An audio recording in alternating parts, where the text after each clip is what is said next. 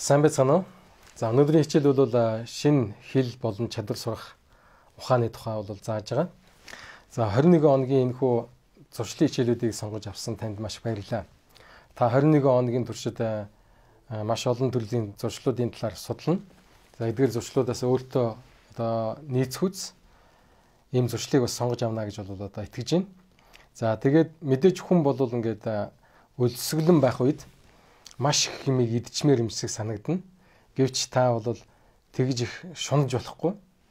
Ааж мааж баг багаар та өөртөө зуршил төлөвшүүлэх ёстой гэдгийг бол ухаараарай. За тэгээд зуршил төлөвшүүлэхэд бол шин нэмийг сурах зуршил бол маш их чухал байдаг. Шин зүйлсийг сурах одоо хамгийн боломжийн арга нь бол гадаад хэл сурах гэж бол одоо би бол ойлгож байгаа. Яагаад гэвэл энэ гадаад хэл сурах арга бол зуршил бол таныг маш их олон хөгжилд бол урайлан дуудан таныг хөгжөхөд чинь маш их тос болно. Тийм учраас маш чухал зүйлийг бол одоо танд санд болгож байна гэсэн үг. За хүн болгон мэдээж бол гадаад хэлтэй болохыг хүсдэг. За гэхдээ гадаад хэлийг сурах яг энэ алхмыг хийх үедээ сонголтыг хийх үедээ хүмүүс алдаа гаргаж идэг. Э, ямар алдаа гаргаж идэг гэхээр бол за би ер нь тийм төрлийн хүн биш байхаа, би чадахгүй байхаа гэдэг ийм өнцгөөс бол эхэлдэг. Хэрвээ та сонсох чадвартай хүмүүстэй ярилцах хэл ярианы ямар нэгэн согог асуудал бэрхшээл байхгүй бол та бол ямар ч асуудалгүй гадаад хэл сурах боломжтой. За гадаад хэл яагаад сурах хэрэгтэй юм бэ? Гэхдээ бол гадаад хэл бол хүний тархийг маш гайхамшигтай хөгжүүлж яадаг ийм чадвар юм. Хүн шин нэмийг сурах болгонд тархиндаа шин ийм холбоосуудыг үүсгэж идэг. Тэгээ энэ шин холбоосууд бол бидэнд тархины үйл ажиллагааг бол сайжруулах, сэтгцэн эрүүл мэндийг сайжруулах бас улбаалаад бие махбодын хувьд эрүүл сарвал байх тийм үндсийг тавьдаг. За тийм учраас бол энэ шинийг сурах хүсэл эрмэлзлийг хизээч гээж болохгүй. Та болж игэл жил болгон шин нэг хүнд чадваруудыг бол сураад а өдөр болгон сар болгон та амархан зуршлуудыг бол суулгахын тэр төвлөрөх ёстой. За гадаад хэл мэдгүй байхын зовлон та ер нь бол мэдэрч ирсэн үү?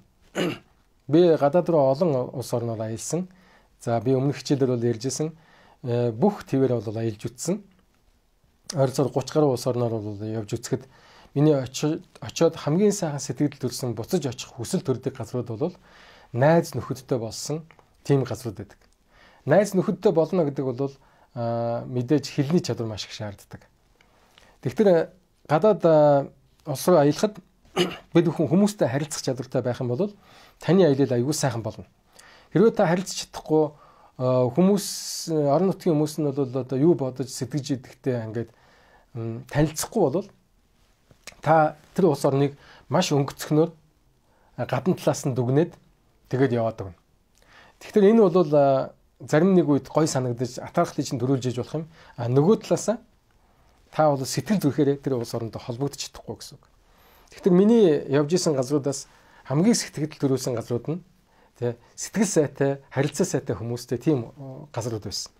А мэдээж хөгжилтөө эд зүйлс ихтэй байшин сав зам харгууга сайн хөгжүүлсэн тийм улс орон сэтгэлд бол их одоо тийм атаархмаар сайхан мэдрэмжийг төрүүлж исэн боловч гэсэн удах тусам тийм газруудад их дарамттай болж эхэлдэг. Яагаад гэвэл маш харилцаа багтаа хөндөй хүүтэн тийм ур амьсгалтай юм байна гэдэг нь мэдэгддэг. Тэгээ тэнд байгаа хүмүүсийнх нь дүр төрх царайгаас нь ч гэсэн ер нь энэ улс орн ямархуу байдалтай юм бэ гэдэг нь харагддаг. За тэгэхээр инээд хөр баяр хөөр байгаа газар бол хүн илүү их татагддаг юм байна гэдгийг би бол ойлгосон. Ийм байхын тулд хүн бол одоо тий харилцааг их чухалчлах хэрэгтэй. Харилцаа гэдэг нь бол нөгөө хэл яриаг зөв эзэмших гэсэн үг. За тэгэхээр гадаад улс орны хэлийг мэддэгтээ та гаднаас ирж байгаа хүмүүст бас болно. Дээрээс нь та гадагшаа явхад өөрөө бол одоо илүү их харилцаанд орох боломжтой. Нөгөө талаараа гадаад хэл гэдэг бол маш хэмжээний мэдээлэлтэй холбогдох ийм үндсийг тавьж өгдөг. Тэгэхээр та англи хэлийг мэдэх юм бол мэддэг болчих юм бол эсвэл гадарладаг болчих юм бол та төсөөлшгүй хэмжээний мэдээллийг авах боломжтой. Та өөрийгөө бол бусдаас олон шат илүү алхуулах тийм боломжийг нээж өгнө гэсэн үг. Тэгэхээр өнөөдөр бол одоо баг интернетээр байхгүй зүйл байхгүй болсон гэж бол ярьдаг. Юу гэсэн гэхээр интернетийг та эзэмшиж интернетээр байгаа мэдээлэл унших боломжтой болчихл юм бол та баг одоо ямар сургуулийн ямар ч мэдээллийг гарын доор байгаа газараасаа авах боломжтой болчихж байгаа. Ажлын нийгмийн харилцааны шаардлагаар хүмүүс гадаадтай бол илүү харьцаж ажилладаг болсон. Одоо бид нар бол дэлхийд дахин маань ингээд даяаршаад автаараад эхэлж байгаа. Энэ нь юу гэсэн үг вэ гэхээр бол аливаа нэгэн бүтээгдэхүүнийг гаргахад одоо нэг газар нутгаас шалтгаалхаа болцсон.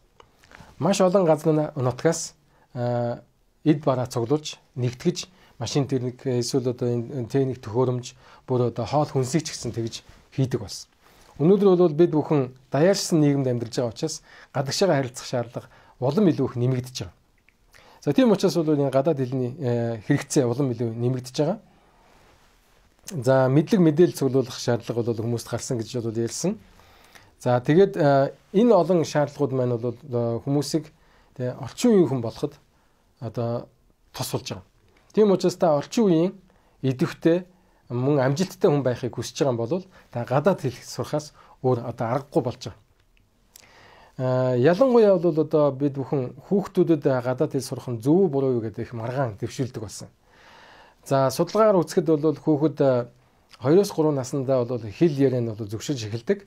Тэр үедээ бол хүүхэд хамгийн одоо тий багада 4-5 хэллийг бол чөлөөтэй сурах боломжтой гэж хэлж байгаа.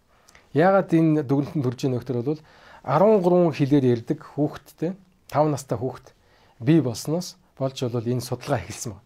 Ингээд тэр хүүхэд бол ээж нь Бразил, аав нь бол англи Тэгээд тэд нар бол одоо Азийн нэг улс оронд бол амьдарч исэн. Ингээд бол маш олон хилтэй байх боломжийг тэр хүүхэд бол багасаа авцсан. Тэгээд хүүхэд бол ямар ч хичээл сургууль сураагүй хинч бол шахаж шаардаагүй хаад тэр олон хэлийг бол бүр дээд төвшөнд их шиг бол сурсан байсан байна. Ингээд үзэхдээ бол одоо хүүхэд багадаа сурах чадвар нь их байдаг гэж бол хэлдэг. Харин томрох тусам сурах чадвар нь багасаад явдаг. Ингээд бид нар бол том болоод сурах чадвар нь муудсан үед нь ингээд гадаад хэлийг заахыг илүүх онцлоод харин багаас нь илүүх идэхгүй байхад нь нөлөөлөд байгаа юм. Тийм учраас бол би бол юу гэж итгэдэг вэ гэхээр бол цаг алдахгүйгээр та яг одоо л ихэл. За дараа жил юм уу эсвэл за нэг хэсэг одоо өөрийгөө бэлдэж байгаа ч юм уу гэсэн ийм байдлаар хандах юм бол таны сурах үйл явц чинь удаашраад л гэсэн үг. Гадаад хэл сурна гэдэг бол хоош нь тавьж болохгүй маш чухал ийм чадвар юм байна. Сурах ёстой чадвар юм байна. За хүмүүс бол одоо байнга асуудаг асуултнууд бол би яаж хурдан сурах вэ гэж асуудаг. Зарим нэг хүмүүс нь би яаж сайн сурах вэ гэж асуудаг. Зарим нэг хүмүүс нь бол би яаж одоо их хэлээр ярьж байгаа юм шигээд их сайн сурах вэ гэж бол одоо асуудаг. За энэ болгон чинь мэдээж бол зөв асуултууд. Гэхдээ та хэр хэмжээтэй ямар хурдан бэ гэдгээсээ илүү би тогтмол гадаад хэлийг өөртөө зөвшөөрүүлж сурж болох уу гэж одоо зөв асуултыг асуух юм бол таны гадаад хэлэх үйл явцад чинь бол нэмэр болно гэсэн үг. За зарим нь бол асуудаг би үг цэжлэхтэрээ төвлөрөх үү эсвэл дүрм дээрээ төвлөрөх үү гэж асуудаг. За энэ ч гэсэн маш чухал асуулт. Яагаад гэхээр бол энэ та өөрийнхөө гадаад хэл сурах арга барилыг аргыг тодорхойлж байна гэсэн үг. За хэрвээ та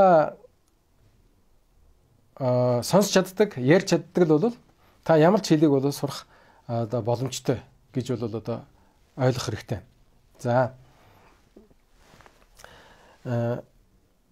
мэдээж хэл гэдэг бол гол төлөв энэ харилцан яриагаар явагддаг учраас амын хэлбэрээр бол одоо хэлийг сурах нь илүү дөхөмтэй байдаг, илүү зугаатай байдаг гэж ярьдаг. За дараагаар нь бол бичгийн хэлбэр илүү орох хэрэгтэй. За бичгийн хэлбэрээр бол бичих санаагаа бол одоо тий илэрхийлэх дээрэс нь гадаад хэллэр бол уншиж сурах нь танд бие дааж бол одоо гадаад хэлийг улам илүү сайн сурахт бол нөлөөлнө. За тэгээд энэ хоёр одоо арга дээр илүү төвлөрсний дагаар дүрм бол аяндаа уг нь бол орж ирж явах хэвээр. Дүрм мэдээж бол одоо зөв ярихыг тодорхойлдог ийм одоо арга гэх юм уу да. За тэгээд тогтолцоо. Тэгэхээр хүн бол одоо ингээд за би буруу өөрийгөө илэрхийлж байна да. Эсвэл би буруу одоо цагаар ярьчих юм бол би буруу ойлголт өгчих юм байна гэдгийг хүн бол одоо гадарлаад эхэлдэг. За дөрмийн ойлголттой болохын тулд хүн одоо тодорхой хэмжээний үгийн баялагтай болсон байх хэвээр тодорхой хэмжээний бол одоо тийм энгийн яриа өрнүүлэх хэмжээнд хүрсэн байх бол их сайн. Ийм тохиолдолд бол дүрмийг тусгаж авахд их амархан байдаг. Дүрмийг бол судлах биш Харин дүрмийг бол одоо ингээд санаандгүй санаандгүй таарж сурах нь илүү үр ашигтай байдаг гэж бол одоо үздэг. За харамсалтай нь гадаад хичээл гадаад хэлийг заадаг гадаад болон дотоодын маш олон сургалтын арга барилуд байна. Маш олон хүмүүс бол бие дааж зааж идэг. Энэ хүмүүс юун дээр илүү их анхаардаг вэ гэхээр бол дүрмийг ойлгох тал дээрээс нь эхлээд явцдаг. Ингээд дүрм дээр бол хит их ингээ явах дээр бол хит их хуурай сонирхолгүй тэгээд их тийм дарамттай болоод эхлэнгүүт Хүнний бол нөгөө хэл сурах чадварт нөлөөлөд хүн нөгөө сэтгэл зүгээрээ бол одоо бүх юм шийддэг гэж ярьсан шүү дээ тийм. Хүний сэтгэл зүй бол ингээд үхээд хэлдэг. За би ер нь чадахгүй маань энэ чи хэцүү юм байна. За ер нь миний толгой бол хүлээж авахгүй байна. Тусахгүй байна гэдэг. Тэгэхээр хүн сонирхолтой юмыг бол маш хурдан тусгаж авдаг. Сонирхолтой юмд айгүй уух цагийг зарцуулж чаддаг.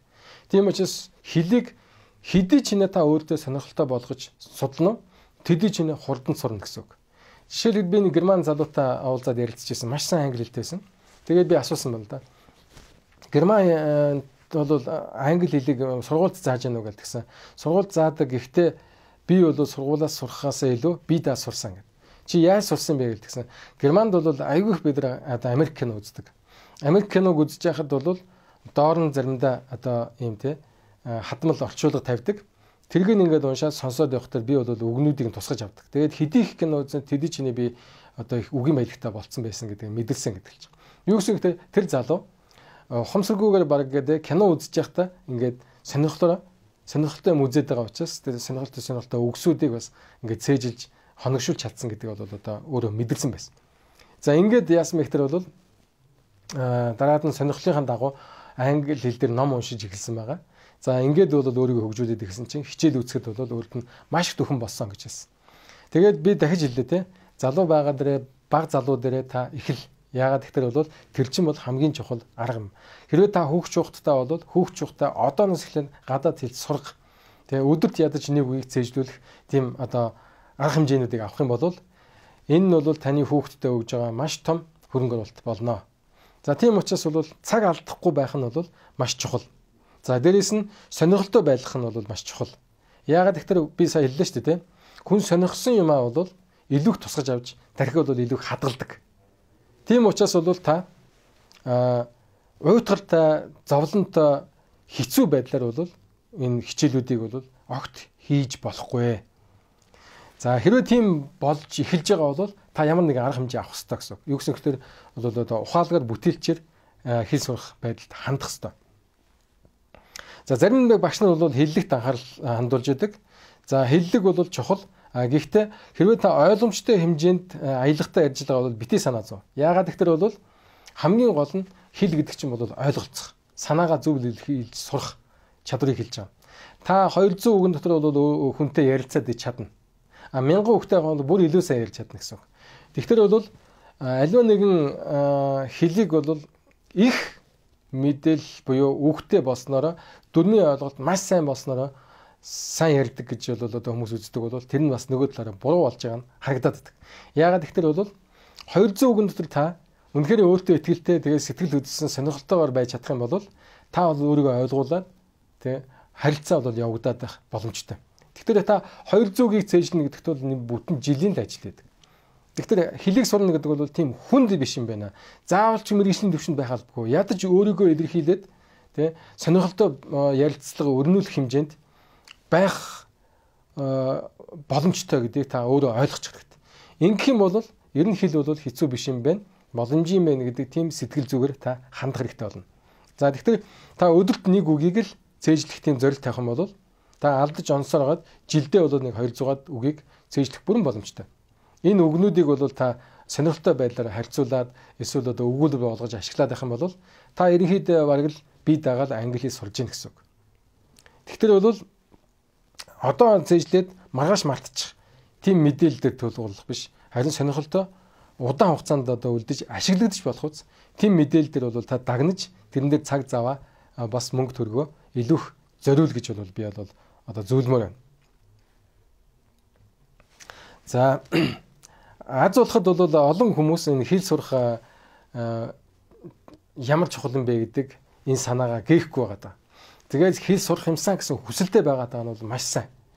За одоо энийг бол дараагийн төвшөнд буюу яг одоо тэр хэлийг эзэмшиж сурах, мөн ашиглаж сурахад нь анхаарах хэрэгтэй. За дараагийн нэг чухал хэлэх зүйл маань юу гэхээр бол тий энэ хэлийг өөртөө яаж төлөвшүүлэх гэдэг дээр бол үгийн сан их чухал байдаг. Та үгийг бол одоо судлаад эхлэнгүүд үг бол маш олон улс орнуудын нөлөөнд автагддсан байна гэдгийг та ойлгож эхэлнэ. Жишээлбэл өнөөдөр Монголд бол бид нар гадаад үгийг Оросоос бол их зээлж авсан, Хятадаас зээлж авсан үгнүүд их бий, Төвдөөс зээлж авсан үгнүүд их бий. Тэгэл ингээл яриалах юм бол одоо бид нар Англиас олон үгийг зээлж авдаг болсон байна өнөөдөр. За тэгээд зарим нэг хүмүүс бол бараг л 10-аас 20% нь бол англи хэлний үг ашиглаж ярьдаг тийм хүмүүс болсон байдаг. Тэгээд энийг зарим нь зөв буруу гэл ингээл одоо мэтгэлцээд байдаг.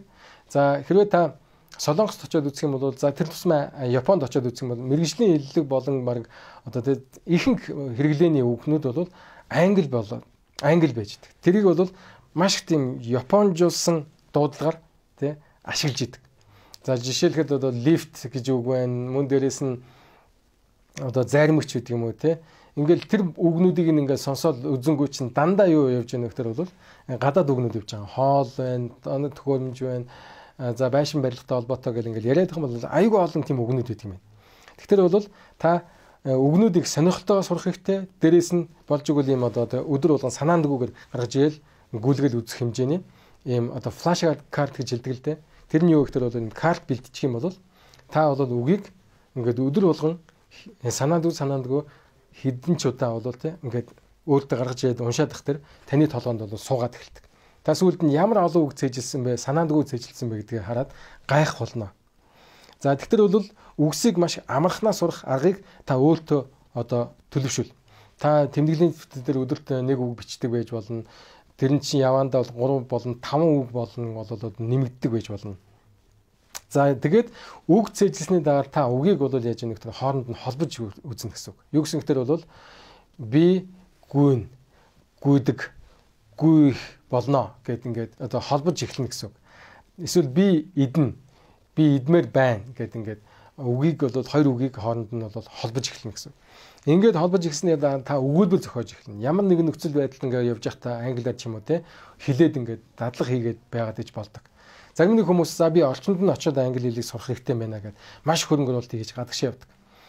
За Тэгээд зарим тэр хүмүүс бол одоо би орчинд нь орохгүй байгаа учраас англи хэл сурч чадахгүй юм эсвэл гадаад хэл сурч чадахгүй нэ гэж бодоод идэг. Гэвтэл энэ бол буруу үзэл. Яагаад гэвэл бол Америкт 20 жил болцсон мөртлөө англи хэлээр ярьж сураагүй хүмүүстэй би таарлж байсан. Жишээлбэл би нэг удаа Лос Анжелес таксин зуугаад явсан. Таксины жолооч бол солонгос хүн байсан. Ганц ч англи хэлээр ярьж чадахгүйсэн. Бид түүнээс та одоо Америкт хэдэн жилийн өмнө ирсэн бэ гэдэг ингээд чаддаг мэддэг нөгөө солонгосоор асуухад бол 20 жил гэж бол хэлжсэн. 20 жил Америкт амьдэрсэн мөртлөө тэр хүн дандаа солонгос хүмүүс буюу Аз хүмүүст үйлчилж исэн учраас хизээч англиэс сурах шаардлага тэр хүнд байгаагүй. Тийм учраас бол сураагүй. Гэхдээ орчинд нь орохлоор хүн сурдаг гэдэг бол бас худлаа. Та хэрэг одоо тий оюун ухаанаа тийш чиглүүлнэ тий сурна гэж бодно. Хэрэг дадлага хийнэ. Тэр чин танд бол англи хэл сурах юм уу гадаад хэл сурахд чинь бол нөлөөлнө. Тэр 20 жил Америкт байсан жолооч бол яагаад сураагүй гэхээр нэгд энэ нь бол би сурч чадахгүй байна гэсэн бодолд автагдсан. Хоёрд надад тийм шаардлага байхгүй байна гэж тайвширдсан. Гуравт яаж нэгтэр бол тий ямар ч тийм хичээл зүтгэл бол одоо тэр хүн гаргаагүй буюу шийдвэр гаргаагүй алхам хийгээгүй гэсэн. За ингээд үзэхдээ бол тий гадаад хэлийг бол илүү сайн сурахад нөлөөлж болох ус аргуудыг би одоо хэлье л да та хин нэг найз нөхдөдөө хамт англи хэл сурья гэдэг шийдвэр гаргаад өдөрт биеиндээ нэг нэг үгээ асуудаг, лавладаг, шалгадаг эсвэл одоо харилцан ярилцаа хийх гэж хичээдэг болох юм бол тэр маш нэмэр болдог. Эсвэл та бүлгээр ангиар явбал те англи хэл юм уу гадаад хэл сурах тийм бол одоо хөдөлгөөнийг хийж болно. ажиллаараа ч юм уу. Ажлын одоо хамт олноор. Ягаад гэвэл хүмүүс зааж өгөх гэж хичээж байгаа энэ хичээл зүтгэл дандаа эргүүлээд бол нөгөө хүндээ зааж байгаа хүндээ бол маш нөлөө үзүүлдэг учраас та баг болж ажиллахыг одоо хичээгэрэй гэж бол хэлмээр байна. За тэгээд том зорилт бити тавь. Тэ том зорилго чинь бол 500 1000 үг цээжлэх. Би чөлөөтэй ярилц сурах. Дүрмийг бол одоо дүрмийн алдаагүй ярилц сурах гэдэг тийм ойлголт хийж болох юм. За тэгэхээр бол та том зорилгоо ингээд жижиглж эхлэх юм бол өдөрт нэг үг тий эсвэл 7 хоногт нэг үг гэдэг байдлаар жижиглэх юм бол хэл сурах арга барилт чинь бол энэ та тайван хандна, сонирхолтой хандна, мөн дээрээс нь та тогтмол тэр хэл сурах арга барилаа ашигласнараа илүү олон хоногт тууштайгаар илүү олон үгийг цээжлэх боломжийг өөртөө бий болгож байгаа. За ингээд та бүхэн гарын авлагаасаа илүү их аргуудаа судалцж аваарай. Тэгээд танд бол маш их амжилт хүсье. Та гол нь сонирхолтойгоор, урам зоригтойгоор хэлээ сураарай.